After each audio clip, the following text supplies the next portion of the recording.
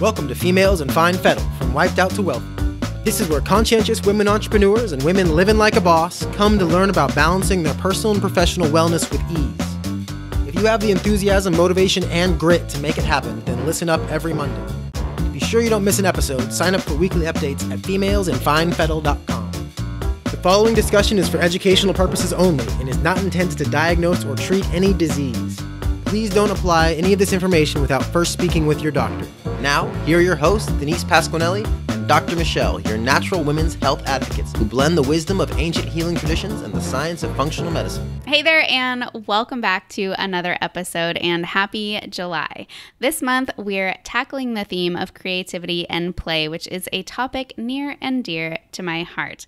I'm not sure if any of you know this, but before I turned all science, bio, nerd alert, I was actually an art major. I know weird. I was super artsy, you know, throughout uh, junior high and high school, and actually ended up being accepted to the Emily Carr Institute up in Vancouver, Canada, and the Academy of Art in San Francisco. But something happened, and maybe, you know, thankfully, just in time. But basically i was taking this one course. I think it was actually uh, a community college level course that i was taking in high school. And I got a B on a project. now, I know some of you are like, yeah, so what? But I know my high achieving sisters out there know what I mean when I was like, WTF, I don't get B's. now, to be honest, you know, I what it wasn't even really the B that bothered me. It was that I got a B because the instructor was judging my work and basically mm-hmm. didn't really like it or wasn't that impressed. Um, you know, even though I totally fulfilled the requirements of the assignment, it was just his opinion of my work. So, you know, it was in that moment that I knew that I couldn't pursue an art career. I couldn't stand the possibility of living a life where I measured my self worth or my success based on someone's opinion. Like looking back now, it seems so insignificant, you know, but it was this really pivotal moment in my life and i'm so grateful that i made that shift um, or else you know i probably would not be here with you. The cool thing is i still get to use my creative abilities in my everyday work and i'm always looking for ways to integrate it further. And that's really what we're going to talk about today how to integrate creativity and play into our daily lives on the personal interpersonal professional societal and spiritual level. Mm, i didn't know that about you I love that. Um, and I love that you said that you knew you didn't want to pursue a career in mm. art. And I think that's a really great distinction because art and creativity, curiosity, play, all of that can be a big part of our lives simply for the sheer joy of creating. Totally. No requirement to make a bunch of money from it. Um, I actually just finished listening to Elizabeth Gilbert's book called Big Magic. It's about creativity and and in it, she describes pursuing our curiosities as a method of living a creative lifestyle, which I just love. Um, sometimes through that exploration process, we might stumble on like a really big, amazing creative project idea. And sometimes we might not. We simply might just enjoy the pursuit of being curious our whole life long. And I love that reframe because it's something we all can do. And it will always act as a complement to whatever it is that we do choose as a career path as we will discuss today. Yes, I I love relating creativity to exploration and curiosity. And this concept actually, you know, uh, can relate to any of our Funky Five today. But this idea also makes me think of my mom. Hey, mama. Um, when I was younger, my mom would be driving around, maybe, you know, picking me up from school or daycare, or maybe we were just I don't know, running errands, but this woman loved getting lost. I mean, maybe she still does, I don't know. But um, I'm pretty sure I used to get annoyed at the time, right, as a kid. But looking back, I can totally appreciate it and see the creativity and the play that was you know, inspired, um, inspiring her, and then also what she was kind of sharing with me. I mean, you know, who gets lost anymore? Basically, no one, unless Yeah. unless we're out of GPS range, which is something I feel like we have to consciously strive to do nowadays. But um, you know, she just loved seeing new streets, finding new ways to get around, looking at the different houses or yards or finding, you know, obscure garage sales. She was just like way into it. hmm I love that. That's such a sweet memory. um, and yes, to getting lost. I love that. Getting lost is harder and harder to do. Also, as technology creates very direct paths to the answers we may seek. Mhm. And like, don't get me wrong, I love that I can Google just about anything and figure out what I wanted to know. But I also love to get lost in the bookshelves or even lost in the act of reading a book. It's a very different experience. Mm. I think I've mentioned before that I am an information scientistista. Scientista. information scientist.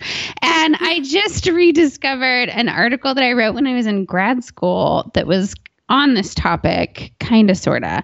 And the article was called The Industrialization of the Mind and How the Book May Save Us. I love it. it kind of cracks me up now, but I was exploring at the time I was really interested in exploring the way online information seeking may be changing our brains. Mm. So, kind of conditioning them to have a question, seek an answer, and end the cycle, which is pretty mechanical if you think about it, like a very mechanical way to approach learning.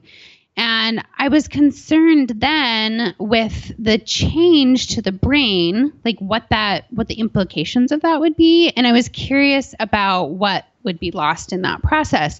So things like creativity and original ideas and the ability to concentrate were up at the top of my list as things that might be lost if we really mechanize that way of approaching information.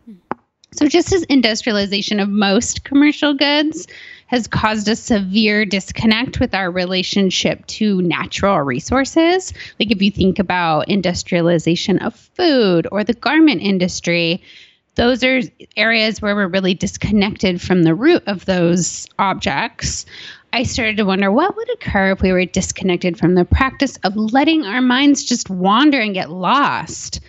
I think that long form writing gives our brains space to wander and imagine and turn over an author's words along with our own memories and observations and imaginations. So it's not necessarily about what we have read, but where our minds journeyed while we were reading. Like, what kind of quiet and personal intro- introspections were um, like given the grace to just exist in that process. Totally. I this is the exact reason why I need to start integrating more fiction into my reading list. yeah. You know, I'm like I'm a total nonfiction addict, but my left brain needs some downtime, right? And, and fiction is such an awesome way to stimulate our right brain's imagination and boost, you know, not just that creativity in the moment, but really at other times and in other areas of our lives. Totally. Yeah, I love that. The call to read fiction. And summertime is a great time to start reading a little more fiction. Mhm. Enjoying the long days. Anywho, applying all of this to a personal approach of integrating creativity and play into our lives, we want to pose a little two part challenge for you all. First, to drop the narrative that you're not a creative person simply because your career is not artist or creative director. Get curious about how you do create or what gets you curious, and you can define what creativity is for you. And the second part of this challenge is to get lost. like, get lost today. Give yourself the opportunity to wander, imagine, explore, have a new thought. You could take a cue from Michelle's mom and take a different route home tonight, see what new things you see. Or you could close the computer and get lost in a printed text, like an actual book. I know, right? I know, I know. And write notes with a pen and a notebook and let your mind fall into relationship with the words on the page. I love it. Um, so those are all awesome kind of creativity on a personal level um, examples. Um, but you know, what about playing with our friends, our families, or you know, other close relationships in our life? You know, it seems like we get so bogged down with adulting that we yeah. just, you know, we we just let it go. It's like one of those first thing first things that we let go, along with self care, of course. Um, but you know, you might have that one friend who has game nights. but as we get deep into our 30s and beyond, it can seem harder and harder to find the time, the friends, and even the motivation, right, to really mm-hmm. let loose. But having those times of play and creativity with friends um, is super, super, super important, but it's also really important to keep things alive um, with our partners. So when we have, you know, new experiences with someone we love, we get some serious hits of dopamine, which is the neurotransmitter associated with falling in love. So it's a great way to kind of keep that spark alive long term. Mm, I love that. I, you know, it can be tough to come up with new ways to play together, mm-hmm. uh, especially in the moment. And I love the idea of creating something like a playlist, which is what I actually I heard that from you, Dr. Michelle. or something I like to call a joy jar, which is basically either one of those things is just a collection of ideas of fun things you want to do or try and they can help you tap into some of those ideas when you find yourself with some free playtime available to you. So, this can be super helpful to break you out of a rut and find new ideas for exploring the world together in a new and fun, fresh way. Mm. This could be something that you turn to just for you or to explore with a romantic partner, a friend, a child, or even your pet. Mm. I wrote an article about the joy jar, creating your own joy jar, Jojo, creating your own joy jar. Um, and we'll link to that in the show notes. It has some ideas for ways that you can bring a little more play into your days, and I'm sure you have a lot of ideas already yourselves. But yes. you can check out that article. I love the joy jar idea. It's kind of fun to say. um anyways we are you know creatures of habit and i think that we can all relate to slipping into patterns that are anything but stimulating. Binging Netflix, anyone? so, you know, I think having that playlist or that joy jar, um, you know, handy is a really awesome way to get inspiration and make sure that you're actually doing the things that bring you joy. Yeah. And I love that extra benefit of a dopamine boost. I know, right? It's really exciting. Um, so speaking of binging on Netflix, I wasn't binging on Netflix. But I recently rewatched the movie Eat, Pray, Love mm-hmm. based on that Elizabeth Gilbert book. I'm on a real Liz Gilbert kick right now, I guess. Um, but anyway, there's this part in the movie when she's in Italy with her new friends and one of the Italian guys starts ranting at her about how Americans feel guilty for experiencing pleasure. I think it was because she was talking about, oh, I've been here for two months and all I've done is learned a few Italian words and eaten and gained weight or whatever. So he's like, oh, you Americans feel so guilty for experiencing pleasure. And talked about the idea that we think we need to work and work and work and then burn out. And then we feel like we've earned the right to some sort of treat, which might look like binge watching TV for the weekend. But that's different than pleasure because pleasure isn't really numbing out. It requires the senses to be engaged. And maybe we could even say um, a little dopamine burst in the brain. I don't know. But anyway, in the scene, he goes on to say Italians know that they deserve pleasure. It's part of the everyday. And they bring up this Italian term, dolce far niente. Hopefully, I said that right. Well done. and it encapsulates it pretty well and loosely translates to the sweetness of doing nothing. The scene is super cute, and I think it relates to the pursuit of creativity and play from a social perspective. So cute.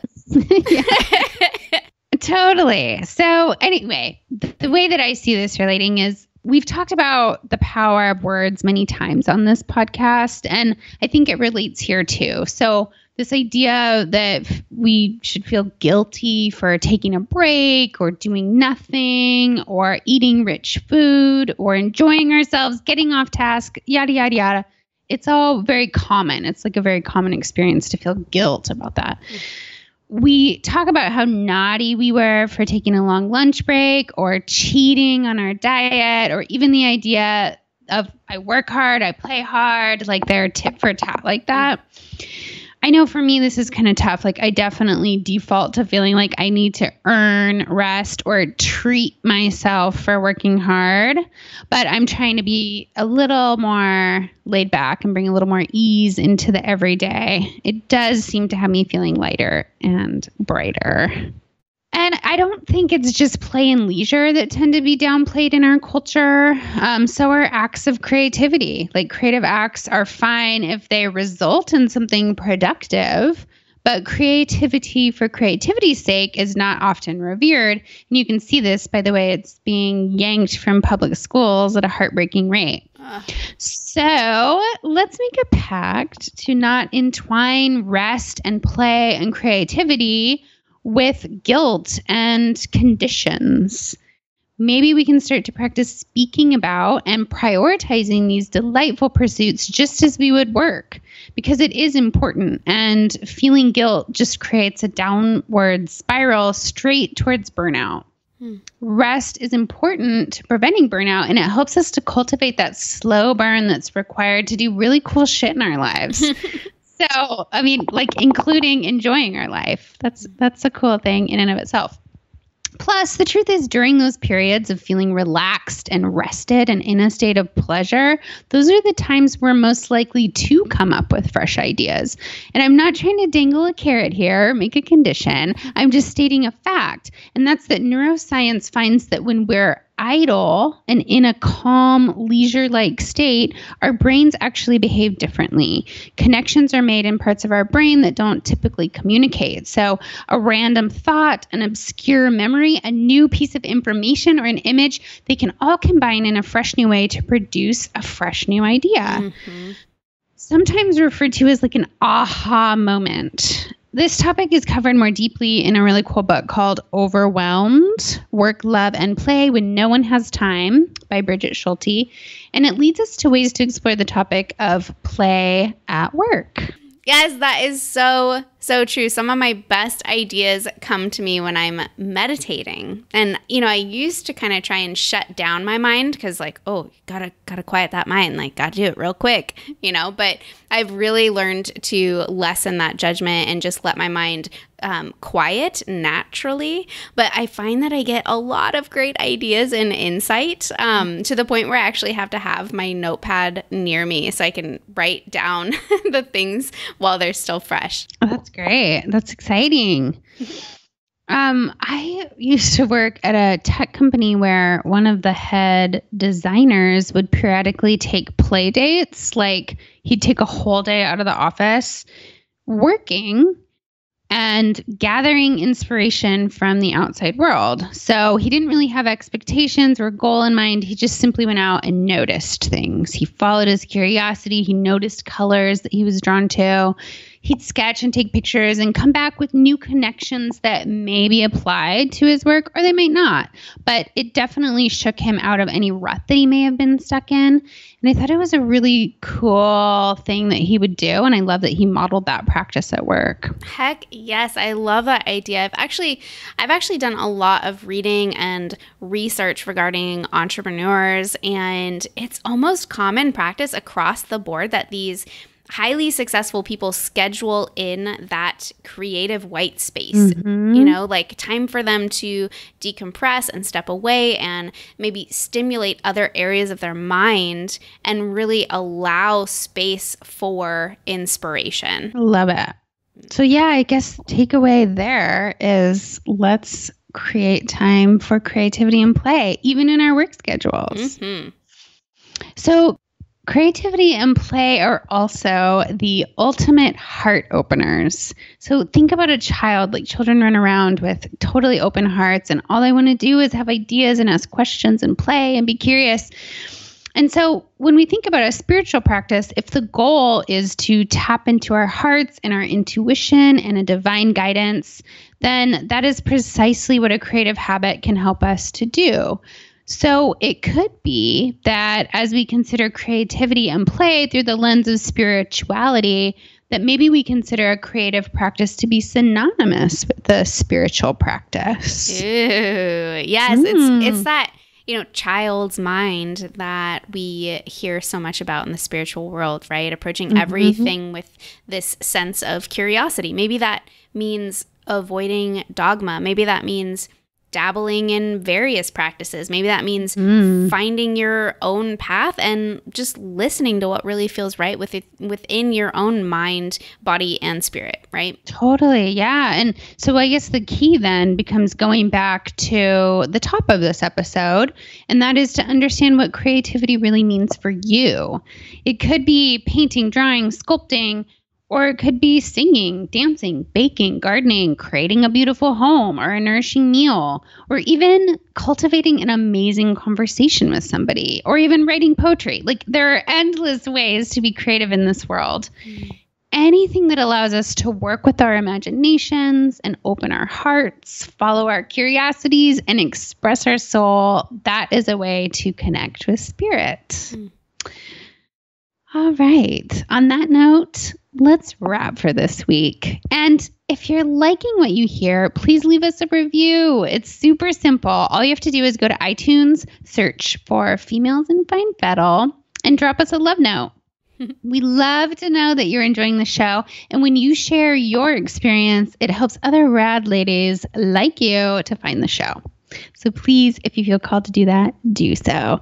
As for next week, we're taking a deep dive into creative creativity and play as it relates to us on a personal level. And we're going to look into the chakras, Ooh. which is going to be really fun. So be sure to tune in. Thank you for listening to Females in Fine Fettle from Wiped Out to WELLthy, a podcast to fit your lifestyle. If you like what you've heard, please subscribe, rate, and review at femalesinfinefettle.com. If you have questions or topic ideas for upcoming episodes, we'd love to hear from you. Please be sure to tune in next week.